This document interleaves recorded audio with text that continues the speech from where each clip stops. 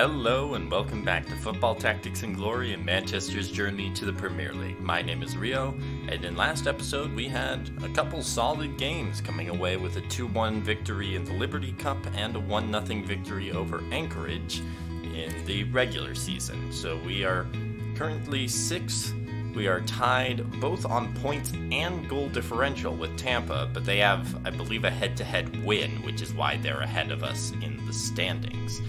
But today, we take on Madison.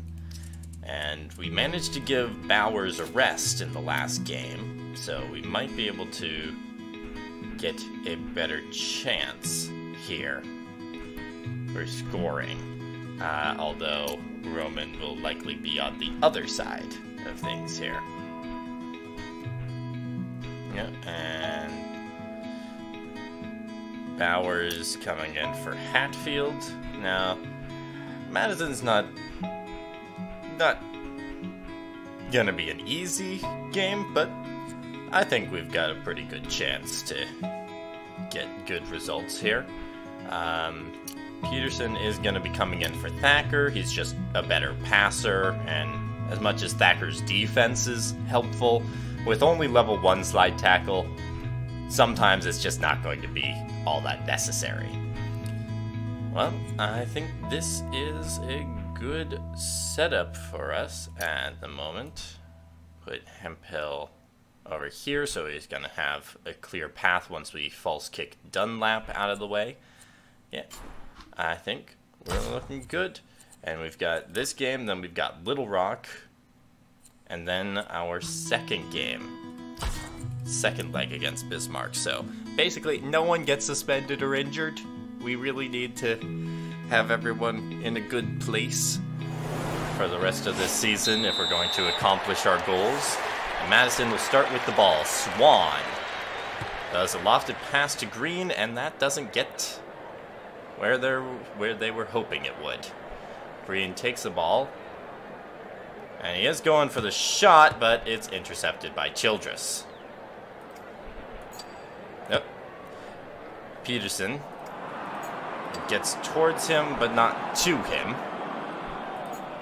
And Peterson is just going to hold this one, and we'll see what they do. Raridan is coming back for it. And Raridan does get it. And Raridan is just going to hold this. Now, Peterson, are you in position to press? No, you are not. So this is just going to be a regular Bowers tackle. And we'll pass to Hemphill. We need to make sure they can't get the ball back to Green too easily because he's got a chance with McCready out of position. Yeah, we're going to be moving McCready back down to block the potential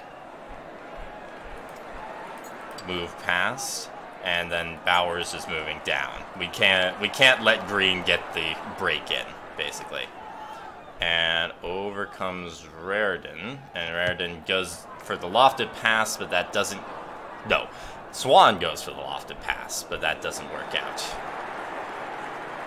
And Peterson is in position to potentially help Thornton here.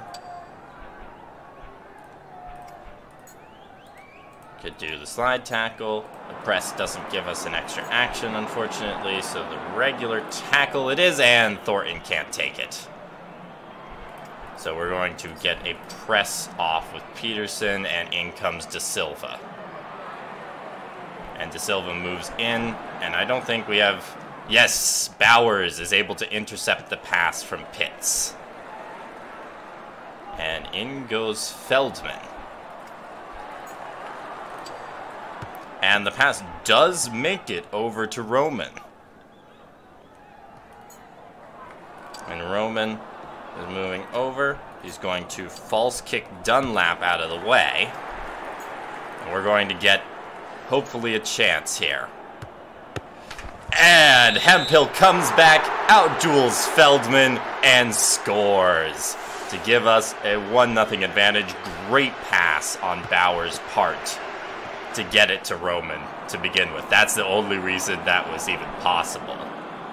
And Doss takes it from Green, who did get the pass this time. And this one goes to Bowers instead of to Peterson. So we're going to try and get it to Hemphill, and that doesn't work. So Peterson comes over to get it. I'm assuming Reardon is coming over to take it from from Peterson. Although, actually, yeah, it looks like Pitts is going to be doing it instead. And Pitts does it, but is not going to keep position, or not keep position, uh, not be able to get it anywhere else. And that gives Bowers an easy opportunity to take this.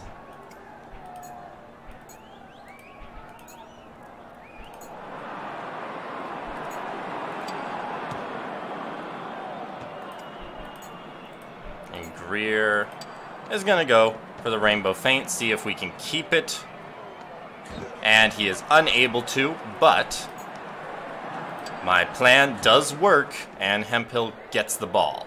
So this should prevent them, hopefully, from getting it. No, Swan actually has a chance because he can do a layoff pass to someone, yep, to get the extra action. So De Silva is going to get a shot off here but he can't get it by Novak, and that ends the first half with Manchester up one to nothing on a great sequence of passing that began with Bowers there. So we're very happy to have Bowers still in the game. Although we might need to think of resting him again. Let's see if we can score a second goal at the start of the second half, and then we'll discuss resting Bowers. So out comes Roman. Roman will false kick Dunlap. And now should be Hemphill going up for it. And he gets it by Meeks. That is a second goal, and I think that's good enough. Hatfield will be coming in for Bowers. I don't just I don't know how many goals that is for him there. McCready and Novak, two of our younger guys, celebrating there. I think the young players have had had a good time here. They've really started bonding, led by Thornton and and Thacker, who's not on the field right now. But I like I like the future of Manchester here. Doss does get it to Peterson here. And Peterson will get it to Roman. Who's going to false kick Dunlap. And does get that through. Unfortunately, because of Hemphill's positioning, we can't do... Whoop. I did not mean to hit that. So it's intercepted by Moyer. And Moyer does get this to Swan. Swan gets it over to Raridan, who keeps it from Thornton. Raridan's got a chance here. But the cannon shot is saved by Hodges. And we're going to miss him after this season. Swan, De Silva, and Green are going in. So Thornton will try out in front. Again, we're running into our uh, poor control causing issues here. Now, what tactic are they going to be doing? They're not crossing.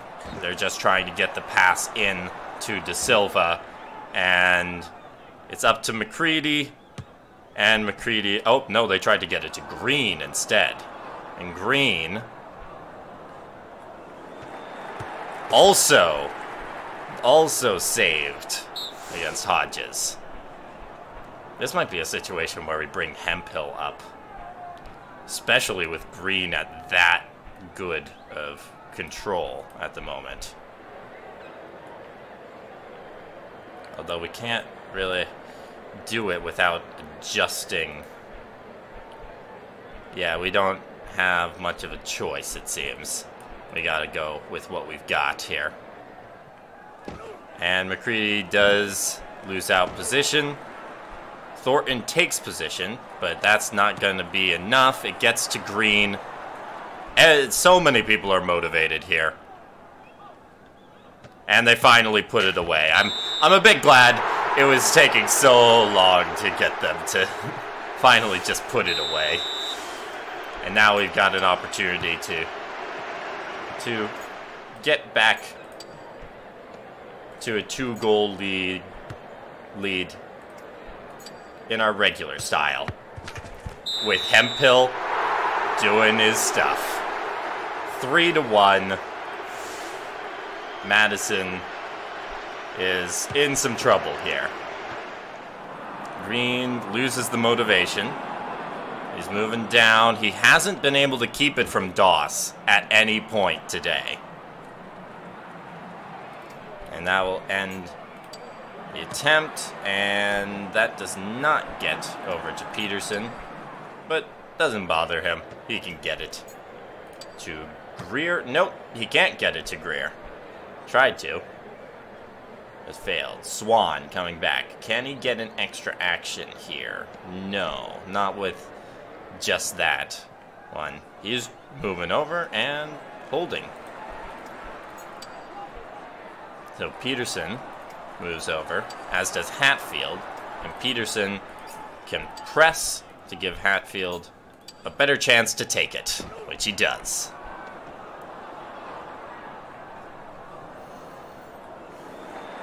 And he keeps it and is fouled by Swan there.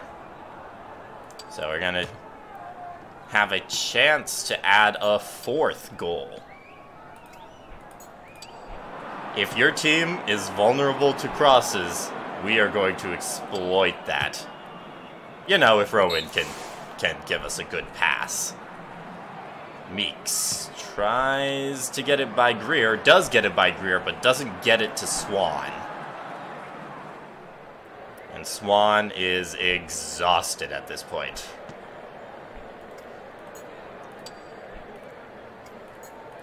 We're going to give Greer a chance to take this away, which he does. And now he's just got to hold on to it.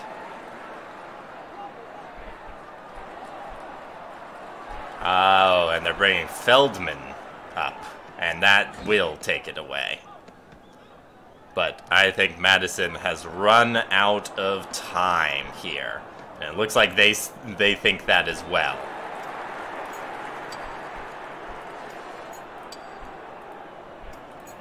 And we're just going to press with Peterson to end the game. Manchester comes away with a 3-1 victory over Madison.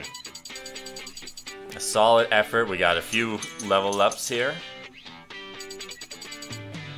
McCready adds some defense and control. Doss adds even more defense, and Greer adds control and accuracy. Good selection. Hemphill, Bowers, Doss. I'm a bit surprised Roman's not in the men of the match, but that's just how it goes. Someday, Roman, you're going to be able to play attacking midfielder and get that final upgrade. I might do that at some point just because we getting that upgrade could be very useful. Now, for the other games, Bismarck beat Anchorage, Jacksonville beat Oklahoma City, Sacramento beat Albuquerque, Memphis crushed Topeka, Tampa beat Little Rock, and San Jose beat Honolulu, and this means that nothing has changed in, in here. The only team that's now capable of catching us for a glory position is Jacksonville. But Tampa, they managed to win by two goals as well, so we were unable to move past them.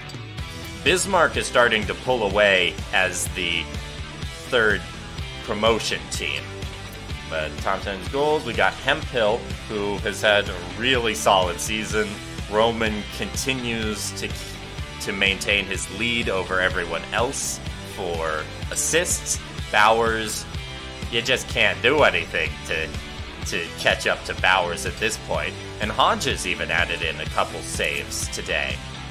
So, I'm curious. We might actually, yeah, we now have enough no, sorry, that's the Youth Academy. We do not have enough to upgrade our stadium size, but hopefully, hopefully by the end of the season we'll have enough.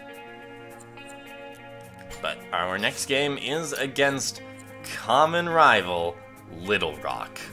And Little Rock, yeah, this this is a team we can definitely definitely work with here. We can absolutely get by and score some goals against Little Rock. And I look forward to it in our next episode. And then after that, a very crucial episode where we take on Bismarck in the semifinals and Tampa for our second meeting against them